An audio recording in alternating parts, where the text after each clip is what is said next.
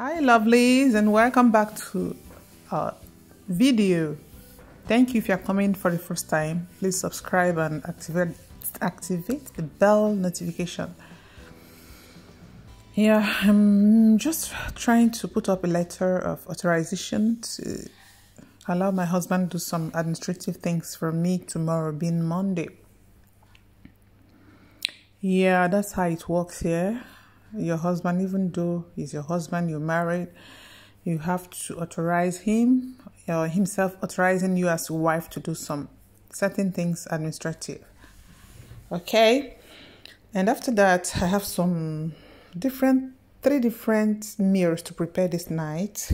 So enjoy watching as we do everything.